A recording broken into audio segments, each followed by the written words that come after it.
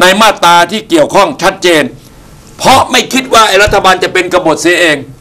ครับ ไม่คิดว่าไอ้รัฐสภาข้างมากจะเป็นกบฏเสียเอง ครับ ไม่มีบัญญัติไว้จะออกอย่างไร เมื่อไม่มีอย่างไรก็ต้องมาเข้าข่ายมาตราเจ็ด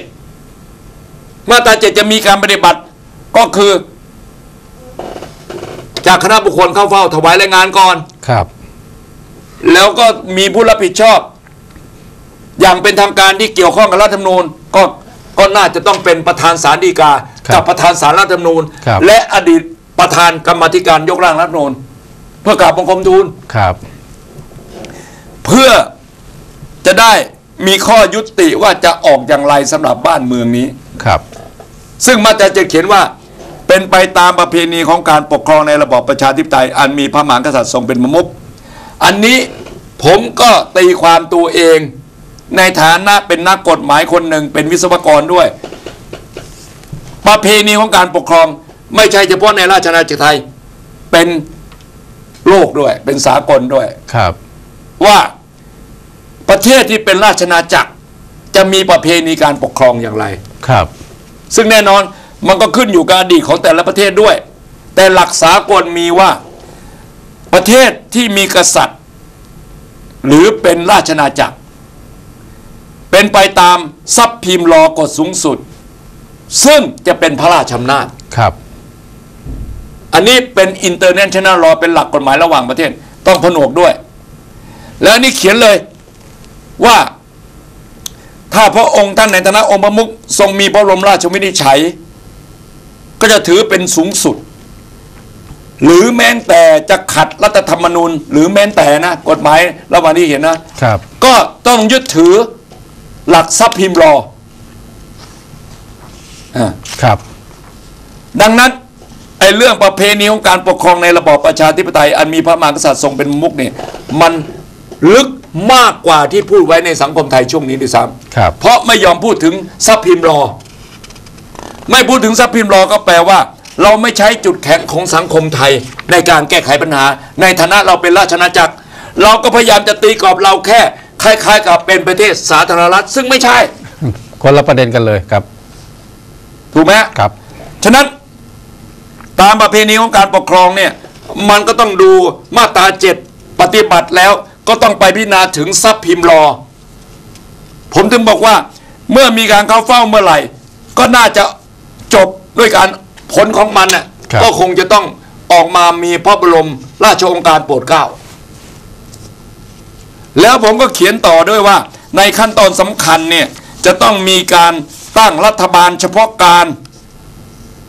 ภายใต้เงื่อนไขของงดเว้นใช้รัฐธรรมนูญแห่งราชอาณาจักรไทย พุทธศักราช 2050 550 บางมาตราเพื่อความเหมาะสมกับสถานการณ์วิกฤตมาจบปัจจุบัน อาทิคุณสมบัติของนายกที่ต้องเป็นสมาชิกสภาผู้แทนราษฎร เท่านั้นครับต้องงดเว้น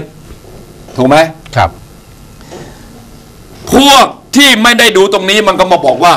ข้อเสนอของนายสุเทพเลือกสุบรรณจะตั้งสภาประชาชนรัฐบาลประชาชนได้ไง เพราะนายกจะต้องเป็นสสเท่านั้น เราพูดแล้วว่าจะงดเว้นคือตรงไหนมีปัญหาก็งดเว้นตรงนั้นอะเพื่อจะให้ไม่เกิดปัญหาอะอ่าและไอ้พวกโลกสวยก็ว่าทำไม่ได้ผิดรัฐธรรมนูญไอ้พวกนี้ก็พวกหัวสี่เหลี่ยมไง แต่ว่าเรื่องเหล่านี้ก็เคยทำมาแล้วในอดีตว่าจุดไหนมีปัญหาก็งดใช้ตรงนั้นไปก่อนอะ เพื่อให้บ้านเมืองรอดพ้นจากวิกฤตก่อน แล้วจะกลับไปใช้ใหม่ภายหลังก็ไม่ขัดข้อง แล้วตามประเพณีของเมืองไทย เราก็มีการงดเว้นใช้รัฐธรรมนูญได้ทำไมจะงดเว้นไม่ได้ ครับ ถูกไหมไปสร้างตัวเองให้เกิดทางตันได้ยังไงใช่ไหมครับอ่า ครับ ฉะนั้นไอ้ไอ้ไอ้สิ่งเหล่านี้วันนี้พ่อแม่พี่น้องประชาชนก็ต้องคิดว่าหนึ่งเรื่องราวต้องรีบจบเห็นด้วยกัน ครับ ตรงกันครับ อันอันที่สองจะมาโทษว่าพ่อแม่พี่น้องประชาชนเดินกระบวนไม่เลิกเดินกระบวนไม่ลา เป็นเหตุของปัญหาทำให้บ้านเมืองไม่สงบ ไม่ใช่ เหตุของปัญหาก็คือ ไอ้รัฐบาล ไอ้รัฐสภาหลักใหญ่ส่วนใหญ่ มันเป็นกบฏมันทำลายความสงบเรียบร้อยของบ้านเมือง ต้องเอามันออกไปให้ได้ถึงจะสงบครับ ไม่ใช่ให้พ่อแม่พี่น้องประชาชนกลับบ้านจะได้สงบ ไม่ใช่ กลับบ้านเมื่อไหร่ไอ้พวกกบฏมันก็สร้างเหตุป่วนบ้านป่วนเมืองต่อบ่อนทำลายประเทศชาติบ้านเมืองบ่อนทำลายราชอาณาจักรมาตลอด มันบ่อนทำลายมาหลายปีแล้ว ตลอดสองปียิ่งรักษณ์บ่อนทำลายมาตลอด ครับ ฉะนั้นฝ่ายที่ทำลายสถาบันมันถึงไม่จัดการ ครับ พี่น้องต้องเข้าถึงตรงนี้ ครับ เพราะฉะนั้นคนที่เข้าใจในหลักการที่เป็นนักวิชาการหรือคนที่อาจจะถือว่ามองโลกสวยเนี่ยก็ต้องตอบโจทย์ว่า ถ้ารัฐสภากับรัฐบาลเป็นกบฏต่อรัฐเนี่ย คุณจะจัดการเรื่องนี้ยังไง เพื่อให้บ้านเมืองรอดพ้น ฉะนั้นครับ วันจันทร์ที่จะถึงนี้เนี่ยจะเป็นวันสำคัญอีกวันที่ประชาชน ตอกย้ำยืนยัน อยากจะ ปิดเรื่องอยากจะยุติเรื่อง ในฐานะเจ้าของอำนาจธิปไตยที่แสดงเจตนารมณ์ครับในการเคลื่อนไหวครั้งสำคัญครั้งใหญ่ และจะเป็นประวัติศาสตร์ของประเทศไทย เป็นความภูมิใจของทุกคนที่มารวมพลังกันทำหน้าที่เพื่อประเทศชาติบ้านเมือง แล้วจะเป็นแบบอย่างลูกหลานต่อไปเนี่ย ก็หวังว่า ในวันจันทร์จะมีคณะบุคคลเข้าเฝ้าครับ เพื่อปฏิบัติจริงตามมาตราเจ็ดครับ ไม่ต้องมาบอกว่าอ้างมาตราเจ็ดปฏิบัติเลยครับเพราะประชาชนปฏิบัติมาตราสามแล้ว แล้วมาตราสามก็โยงไปถึงมาตราสองในฐานะองค์พระประมุขครับองค์ผู้อทธิรงปัตใช้ย์อำนาจทิพย์ไตยเป็นของเป็นประชาชนเป็นองค์อธิปัตย์ประชาชนแสดงเจตนารมณ์ได้ ฉะนั้นองค์พระมุขเมื่อรัฐบาลมีปัญหาเป็นกบฏรัฐบาลเป็นหาเป็นกบฏ จะใช้ผ่านอะไรก็ไม่ได้ก็ต้องเป็นพระบรมราชวินิจฉัยครับในสองอำนาจ ถูกไหมฮะครับหลักการมันก็ต้องเป็นอย่างนั้น ฉะนั้นมันก็ต้องมีการปฏิบัติตามมาตราเจ็ดครับอ่าคณะบุคคลต้องเข้าเฝ้า แล้วก็มาตราสิบผู้นำเหล่าทัพ พระองค์ท่านทรงดำรงตำแหน่งจอมทัพไทยครับ ในเมื่อกองทัพบกกองทัพไทยวางตัวสถานการณ์สามารถทำให้การสูญเสียเรื่องในชีวิตไม่ขยายวงไปกว่านี้ก็ดีแล้ว แต่ผู้นำเหล่าทัพต้องทำมากกว่านั้นครับเพื่อให้เรื่องจบครับถ้าทำอย่างนี้ไอ้รัฐบาลคณะกบฏอ่า ทั้งรัฐสภาคณะกบฏก็อยู่ในอำนาจต่อไปหน้าตาเฉย แถมยังจะแก้รัฐธรรมนูญต่ออีกนะเนี่ยครับหรือจะบอกว่าหนึ่งครับ ถ้าจะบอกว่าอะเรื่องมันต้องให้มีอะไรมากกว่านี้ กองทัพถึงจะขยับได้อ้าวก็แสดงว่ากองทัพไม่ต้องการให้บ้านมึงจบเร็วเลยอย่างนั้นอะครับกองทัพล่อเถิดลากไปเรื่อยๆ บ้านมึงก็จะเสียหายเศรษฐกิจก็เริ่มมีปัญหาแล้วในมันก็ต้องรีบจบ ในทางบริหารเมื่อถึงเวลาต้องตัดสินใจก็ต้องตัดสินใจ ถูก จะมัวรอยืดเยื้อเดี๋ยวอ้างเหตุผลนั้นเหตุผลเนี้ยไม่สมควรอะเพราะประเทศชาติก็จะเข้าสู่ทางตันมากขึ้นฉีกครับ อีกมุมหนึ่งก็บอกว่าอ่ากองทัพขยับมากกว่านี้ไม่ได้ อันนี้ผมคิดเอาเองนะตตต่อประชาชนต้องตายมากกว่านี้เอ้าจะให้ประชาชนผู้บริสุทธิ์ตายมากกว่านี้อีกอะไร มันก็เป็นความคิดอะไรเนี่ย เพราะประชาชนเราไม่ใช่ศัตรูของชาติ ครับ เรากำลังพิทักษ์รักษาไว้ซึ่ง ชาติศาสนาพระมหากษัตริย์และการปกครองในระบอบประชาธิปไตยอันมีพระมหากษัตริย์ทรงเป็นมุข ดังนั้นวันนี้บ้านเมืองของเราเนี่ยมาถึงวันนี้เนี่ย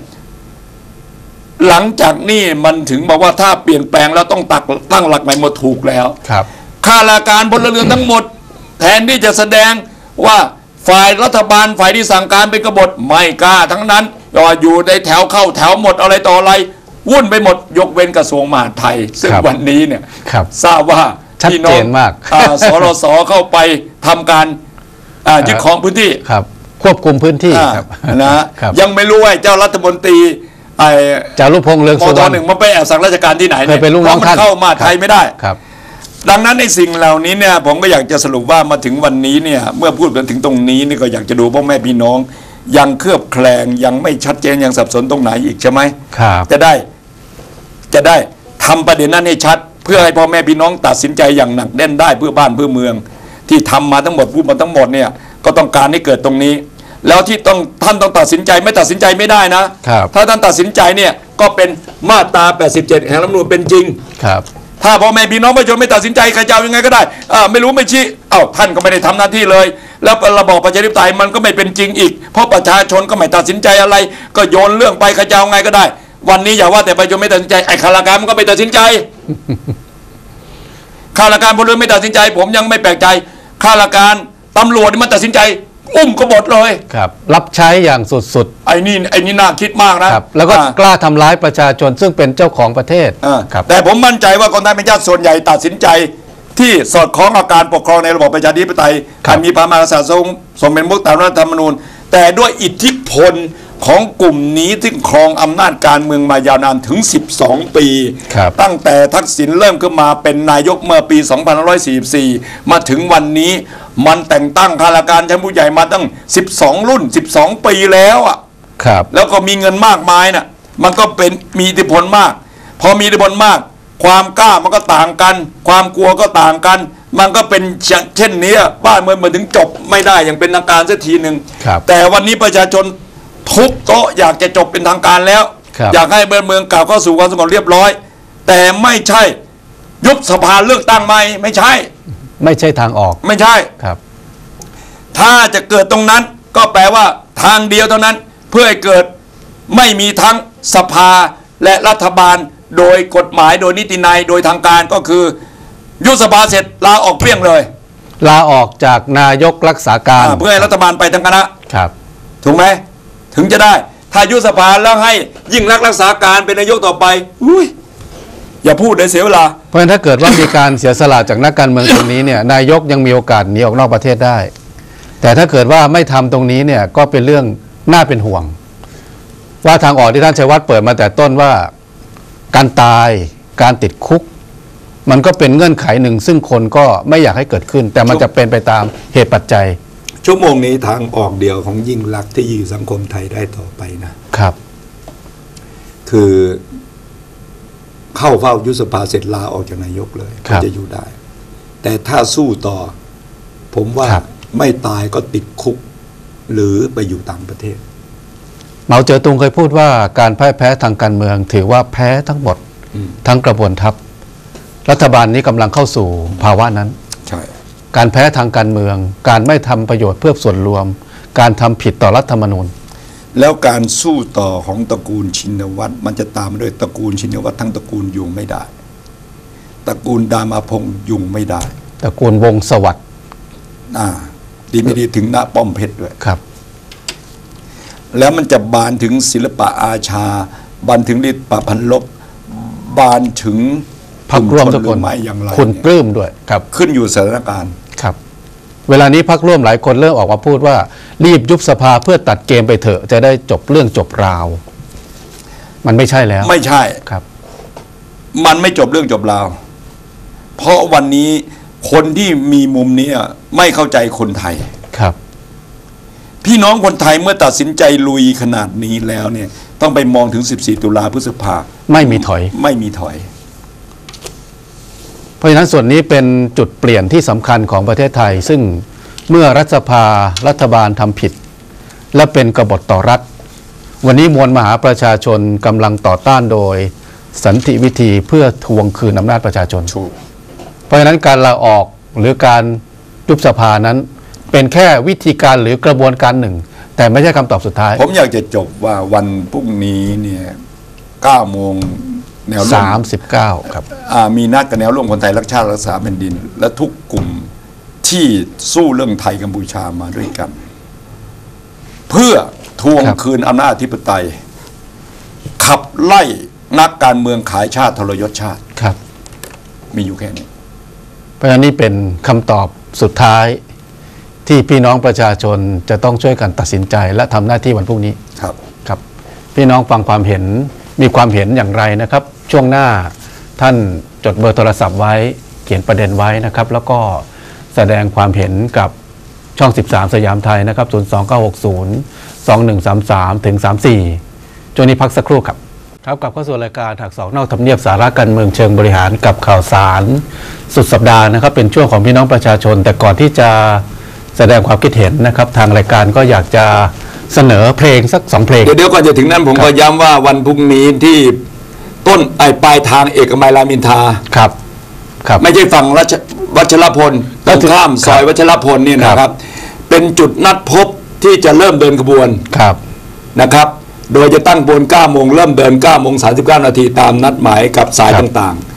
พี่น้องที่อยากจะขี่จักรยานเชิญ ขี่จักรยานเอาจักรยานมาด้วยอะพี่น้องอยากจะขี่มอเตอร์ไซค์เชิญ ครับพี่น้องอยากจะเดินเชิญ ครับ พี่น้องอยากจะนั่งรถยนต์เชิญ อ่าครับ มันจะเป็นขบวนที่แสดงออกหลากหลาย ครับพี่น้องมีมีรถกระจายเสียงเจ้ามาด้วย เชิญครับ อ่าผมจะมาเปิดเพลงให้พี่น้องประชาชนฟังเพื่อให้มีกำลังใจก็ได้ไม่ว่าพี่กันน้องแต่ละขที่บวนอยากจะแสดงอะไรความในใจอะไรทำป้ายมาเองเลย ครับเชิญหมด ครับไม่ว่าจะเรื่องเขาบริหารเรื่องระบบทักษิณเรื่องอะไรเชิญหมดเลยครับ อันนี้เป็นอิสระเสรีของพี่น้องประชาชนครับในการทำหน้าที่ตามมาตราสามครับของรัฐธรรมนูญ ก่อนที่จะแสดงความคิดเห็นนะครับ มีเพลงให้ฟังสักสองเพลง ฟังด้วยกัน แล้วท่านเห็นอย่างไรนะครับ เชิญเลยครับที่ผมแต่งแต่งชื่อเพลงว่าออคุณสมเด็จเดโจฮุนเซนครับ ครับท่านอดิศรเพ็งเกตจะร่วมร้องเพลงด้วยนะฮะ